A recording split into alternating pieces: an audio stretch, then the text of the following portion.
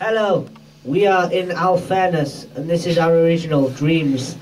Yeah!